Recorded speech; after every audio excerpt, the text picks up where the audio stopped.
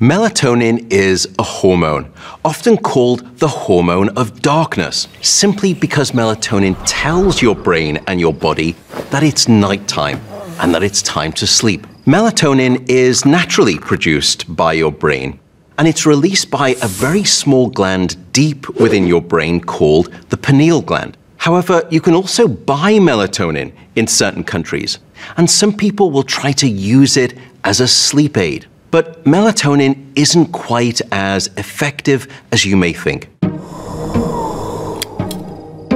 For example, if you pull together all of the recent scientific studies on sleep and melatonin, um, which is a technique that we call a meta analysis, we've discovered that melatonin only increases the speed with which you fall asleep by 3.9 minutes and only increases the quality of your sleep, what we call your sleep efficiency, by just 2.2%.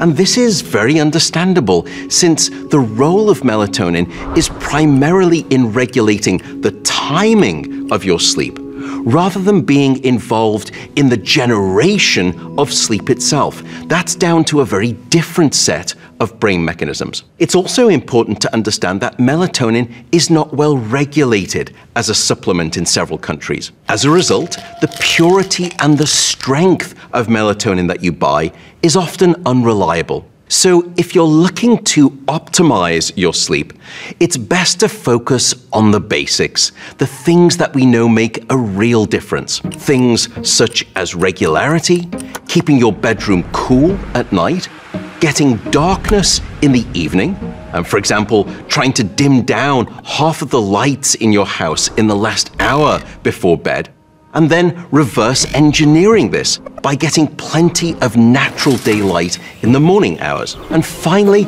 try to get some form of physical activity each day. These things are much more likely to help your sleep rather than looking to melatonin for some kind of sleep assistance.